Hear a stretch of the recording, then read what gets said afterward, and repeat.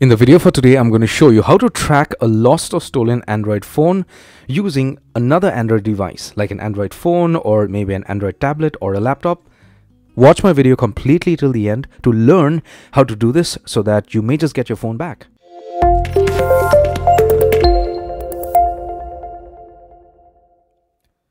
So in order for you to do this, I need you to get hold of another Android device. Maybe you could get hold of a phone from your sister or your brother or your friend, whatever may be the case. Once you get their phone after, you know, taking permission from them, of course, you go ahead and get to the Play Store.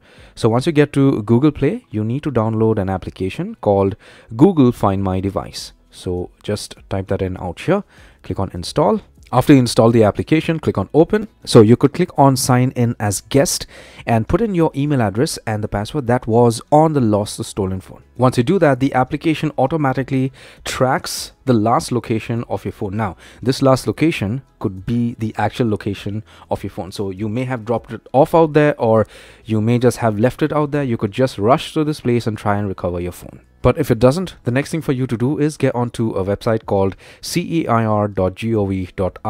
These guys are going to help you to track your phone. Now, this is a specific department in India that helps you track a mobile phone that is lost using its IMEI number. So what these guys would do is once you report as lost or stolen on this website, your phone, these guys are going to block the IMEI number and they're going to trace it online or however they trace it. And once they find your phone, you're going to get it back. You could unblock your phone using this website itself and then you could start using your phone again. So if you cannot find your phone on Google Maps using Find My Device, you could report this as stolen to the official department in India to get your phone back. Now, I wouldn't suggest you have high hopes that these guys are going to find your phone and all those things, but do not lose hope these guys may just get your phone back and give it back to you. I hope this helps and I hope you get your phone back. Give my video a thumbs up. Take care, my friend.